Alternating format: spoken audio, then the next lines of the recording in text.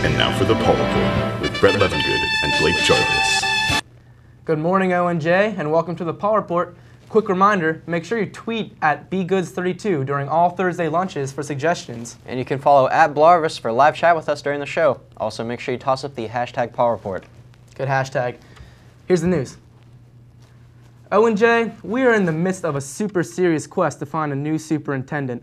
We are currently without one, and it feels as awkward as running into a homeless guy on your way to a Coinstar. I mean, that is all spare change. But it looks like since the last two ended up being a werewolf and a guy with a bum leg and crazy eye, it looks like we're headed back to good old Myra. It's a Harry Potter reference. Last week was Thanksgiving, and along with that special day comes the dreaded sleep-inducing molecule tryptophan. It's found in turkey, and new research shows that... All right, Brett. Brett, we got tryptophan. You're super hilarious. Uh, we have news to do. Uh, Blake, just read the stories. Uh, all right, all right. Uh, here's my hashtag. Follow me on Twitter. Matt. All right, Blake, here's your chance. Make Brian Williams regret not calling you back. Friends of the Arts is getting ready for the holidays with the Holiday House Tour occurring next weekend. They will be hosting a tour of various decorated homes in our area for anyone to view and enjoy. The maps for said tour can be bought in the District Administration Building, High School, Middle School, all elementary centers, Agway Home and Garden Center, Coventry Tea Room, Ludwig's Corner Hardware, Claire's Family Restaurant, Twin Valley Family Fitness, and on the morning of the tour itself.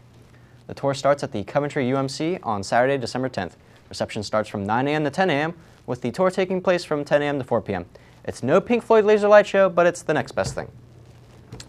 All right, Brett, uh, uh, how's he looking, guys? No, no. He- He's dead? He's, what? What? But I'm not, I'm not ready to leave him. He can't be dead. He's, no. Don't leave me, Brett. We here at the Paw Report know that nothing gets you going like the humiliation of others, so why not watch the teachers and staff of Owen J. Roberts perform for our amusement at the Faculty Talent Show. On Thursday, December 15th in the high school auditorium, some of your favorite educators will be veritable dancing monkeys in hopes to benefit the National Honor Society and the Kelsey Kramer Scholarship Fund.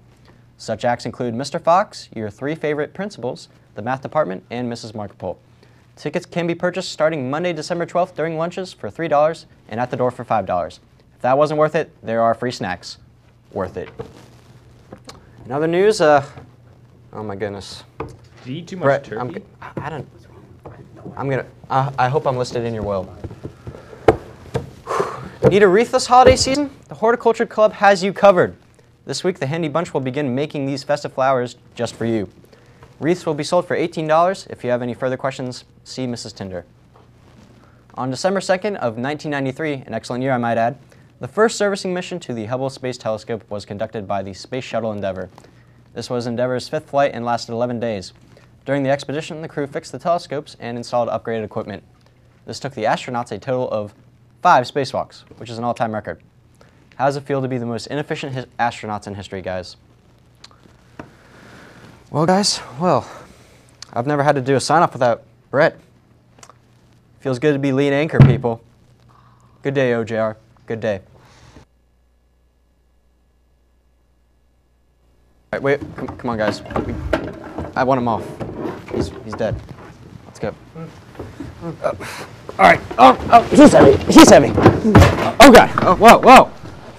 Okay, he's heavy. All right, we got him.